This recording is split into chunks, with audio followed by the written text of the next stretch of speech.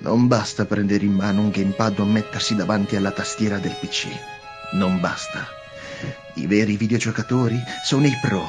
Quelli che conoscono tutto, che vanno nelle chat su Twitch a scrivere la soluzione o a spoilerare storie che loro hanno già vissuto.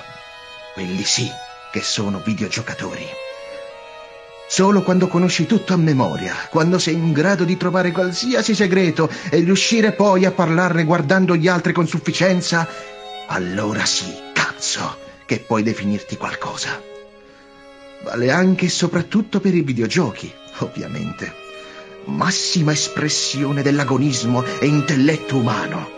Che brutto mondo sarebbe se la pensassimo tutti così, eh? Un mondo di merda, fatto da gente di merda.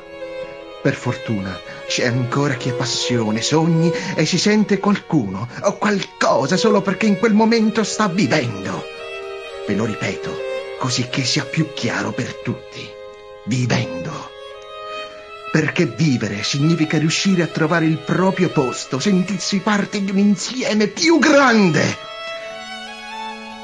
E il videogioco è uno dei più grandi insiemi del mondo.